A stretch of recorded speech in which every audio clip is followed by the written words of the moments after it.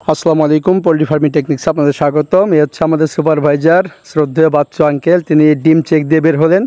আজকে সেজো চাচাও আর কি মোটামুটি আনন্দ করে ডিম চেক দিতে এসেছিলেন।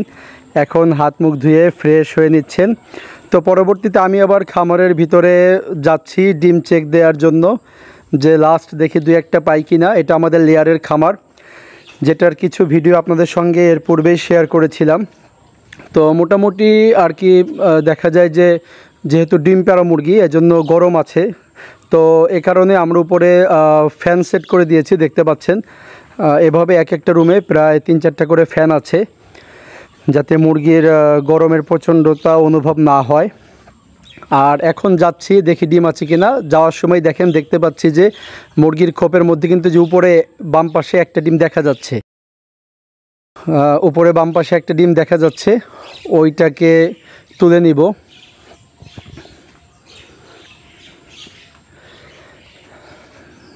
তো নিজেদের খামারের ডিম তুলতে কিন্তু আনন্দটাই অন্যরকম। যারা মূলত ডিম কিনে থাকেন, আসলেও এই আনন্দটা অনুভব করা যায় না।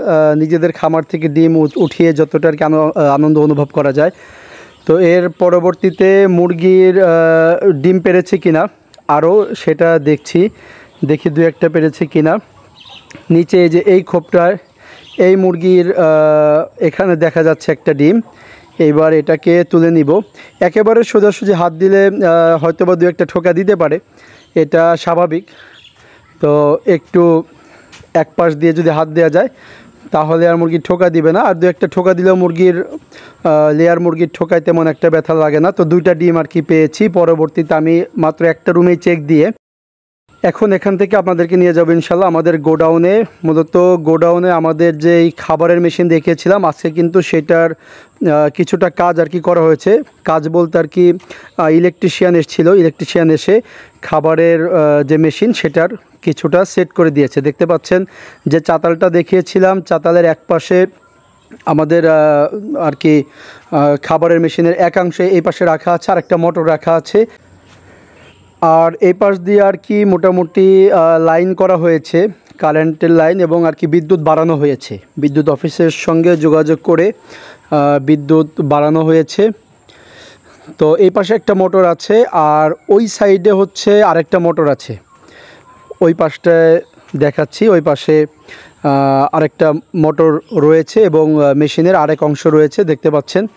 এখানে মোটর রয়েছে, মেশিনের আরেকটা অংশ রয়েছে। তো এটা ইনশাল্লাহ এক দুদিনের মধ্যেই সম্পূর্ণ সেট হয়ে যাবে। তারপরে আপনাদের সঙ্গে খাবার প্রসেসিংয়ের যে প্রক্রিয়া, সেটা শেয়ার করতে পারব ইনশাল্লাহ। আর পাশাপাশি আপনারা অনেকে এই ব্রুডিংয়ে বাচ্চা পালন সম্পর্কে জানতে চান, তো আমাদের ইনশাল্লাহ পরশু দিন, অর্থাৎ আগামী তেরো তারিখে ইনশাল্লাহ আমাদের বাচ্চা ওঠানো হবে। তো আমরা সোনালি বাচ্চা উঠাবো ইনশাল্লাহ। আপনাদের সঙ্গে বোর্ডিংয়ের সমস্ত প্রসেসিং শেয়ার করব। তো নিয়মিত আমাদের ভিডিওগুলো পেতে চ্যানেলটিকে সাবস্ক্রাইব করে আমাদের সঙ্গে থাকবেন ইনশাল্লাহ। আসসালামু আলাইকুম।